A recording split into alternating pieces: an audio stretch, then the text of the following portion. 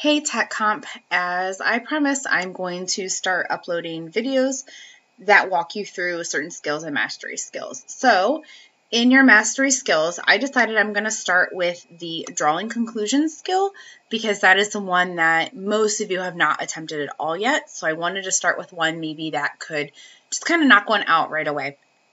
So, I'm going to get into the post test one. And we're just going to go from there. And so this was the information from chapter 6. And so a lot of these are true false, which makes it kind of a nice video to start with. So a conclusion is an assumption.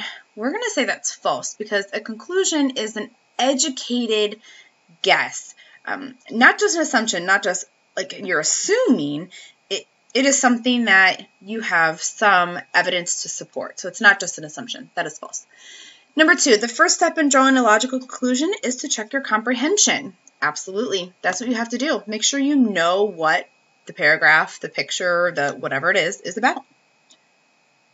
Number three, to form conclusions, you should focus on the major and minor details to look for supporting facts. Again, yes, know the main idea, but also look at those major and minor details.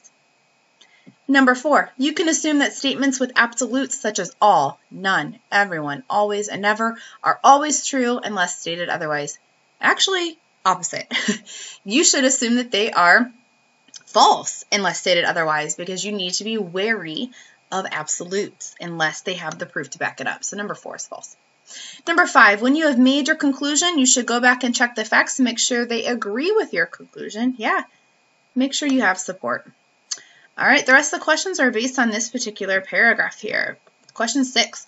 Before Christianity, the ancient Greeks believed in many gods, not unlike our modern superheroes such as Superman, Spider Man, or Captain Marvel. Ancient Greeks built temples to worship their superheroes and created stories about them.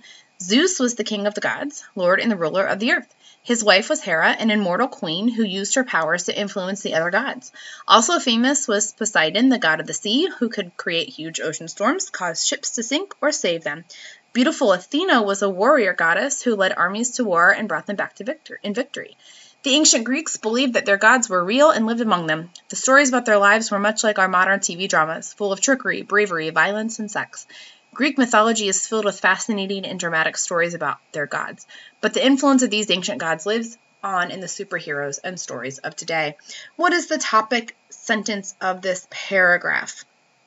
So, it kind of starts off talking about before Christianity, like our superheroes right now, in Greek there were gods.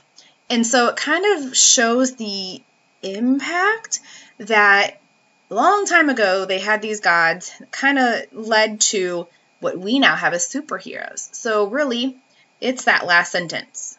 The influence of these ancient gods lives on in the superheroes and stories of today, which is our last option there. Okay, question seven. Modern Greeks today still worship the ancient gods and goddesses. Um, that's really not that's not, not something we can conclude. It doesn't say anything about them still doing that today. Uh, we still learn about them, but that doesn't mean that they still worship them. Number eight, Greek mythology has influenced many modern stories of superheroes. Yeah, that was part of our main idea. True. Number nine, in some ways, the ancient Greeks were much like modern people. Uh, it said that right in there. It said they they walked around with them. So True, they thought they were right there with them. And number 10, the ancient gods and goddesses had both human qualities and supernatural powers. Again, true. There we go. So that is drawing conclusions. Post test number one. Make sure you save and submit that. Replay the video as needed to make sure that you have all the questions. All right, I will work on getting another one uploaded probably within the next couple days. Talk to you soon.